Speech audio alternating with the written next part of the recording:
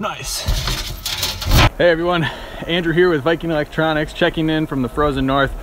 The last couple weeks, we've seen negative 50 degree temperatures and now it's about 8 to 10, maybe more inches of snow in Hudson, Wisconsin. But all of the phones on the outside of our building are still working, Viking Electronics approved, and our newsletter for February got here just in time. You'll see the spotlight is on our IP panel phones. We also feature one of our favorite events of the year, the Hot Air Affair. Check it out, it's in your mailbox now. And oh yeah, the trivia question for the month. This is so fresh, I can't even open it.